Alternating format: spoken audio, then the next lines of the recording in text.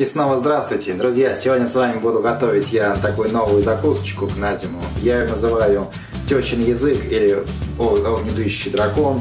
Ну, у нее множество разных таких названий, но в основном ее называют ее тещин язык. Значит, что нам для этой закуски потребуется? Закуска будет из, из основы будет чеснок, острый перец и кабачки. В состав будет, конечно, входить еще некоторые ингредиенты. Сейчас я вам подробнее про них все расскажу. Значит, нам потребуется вообще на 2 килограмма кабачков, вот смотрите, записывайте, 2 килограмма кабачков из расчета, значит, потребуется 100 грамм масла подсолнечного. Значит, в основном, конечно, лучше всего взять томатную пасту. Томатную пасту сейчас я забыл купить в магазине, поэтому возьму я обычный кетчуп. Томатной пасты берите грамм 150, кетчупа берите грамм 200, чуть побольше, даже может 250. Значит, потребуется нам уксус, такой 7%, а может 9% примерно, а, ну, грамм где-то так 60-50 уксуса. Также нам потребуется 4, значит, чесночка, ну, таких побольше, таких а, головки. Нам потребуется 2 острых перца чили, или такой вот стручковый перец, не знаю, как он правильно называется. Значит, нам потребуется 2, ну, вот таких обычных, таких сладких перца, зеленых сладких перца. Также нам потребуется, значит, с вами около сейчас скажу вам даже сколько поточнее, 50 грамм соли нам потребуется и грамм 100-120 грамм сахара. Ну, в зависимости от того, как хотите послаще или наоборот не послаще.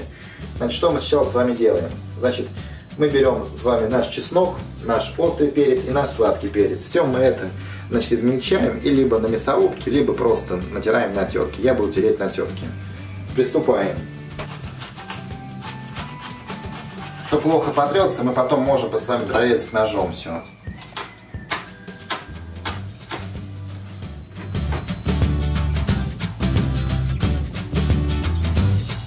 Теперь натираем наш чеснок уже на мелкой терке.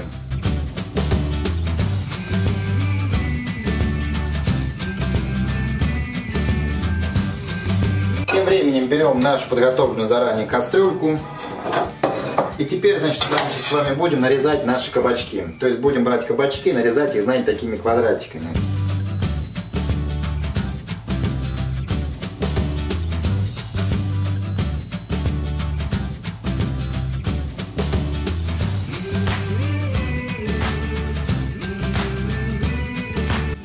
Значит, добавляем заранее мы наш порезанный, точнее, подавленный, так скажем, натертый чеснок с перчиком, добавляем наши кабачки. Значит, добавляем наши кабачки. Теперь, значит, добавляем наше масло, как я вам говорил, добавляем 100 грамм. Вот на это количество добавляем 100 грамм масла. Но опять же, все это делаем с вами на глаз.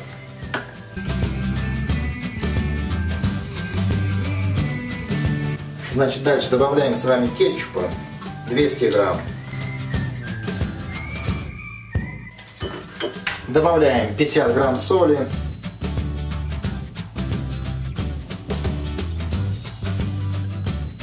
Так, добавляем, значит, наш уксус. Здесь у нас 50 грамм примерно. И добавляем с вами где-то 100 грамм сахара. Все. Все это, значит, перемешиваем и ставим на плиту до закипания и варим 45 минут. Друзья, знаете, существует такое выражение «на старуху бывает проруха».